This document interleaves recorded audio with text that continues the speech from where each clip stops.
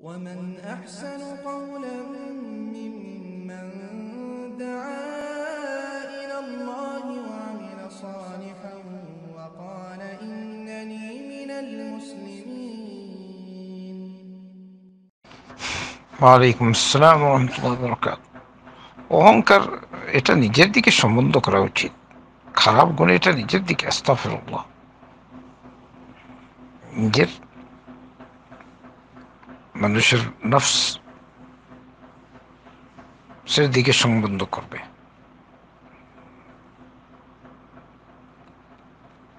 কারণ নফস নফস হলো তিন প্রকার। নফস মানে রুহ বা আত্মা। একটা মানুষকে ভালো পথে এর আদেশ দেয় আর একটা খারাপ পথের আদেশ দেয় আর একটা দুটা মানে খারাপ যদি হয়ে যায়, তারপর বর্ষনা করে। এটাকে বল নফসের লুয়ামা। এইগুলো একদিক দ্বিতীয় নম্বর, শয়তান থেকেও হতে পারে। শয়তান?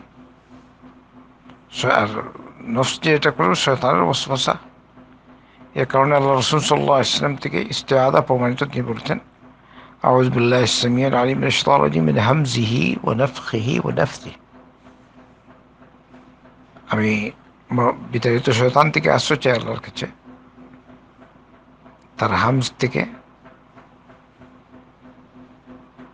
তার ওসওয়াসা কুমন্ত্রণা, আর অথবা এর অর্থ সারা শয়তানের কারণে দেখবেন মৃগী রোগ হয়। তো এরকম রোগ থেকে মনাফিহি নফখ মানে হচ্ছে তাকাব্বুর অহংকার। নফখের শাব্দিক করতে হচ্ছে ফুক দেয়া। তো শয়তান মানুষের মনে ফুক দেয় আর এর ফলে সে বড় হয়। তো আল্লাহর কাছে সে চাই আশ্রয় চাইবে। কিবির থেকে, তাকাব্বুর থেকে, অহংকার থেকে ওসওয়াসা থেকে। তাই নিজের বড়ত্ব ভাব, এটা আসতে পারে।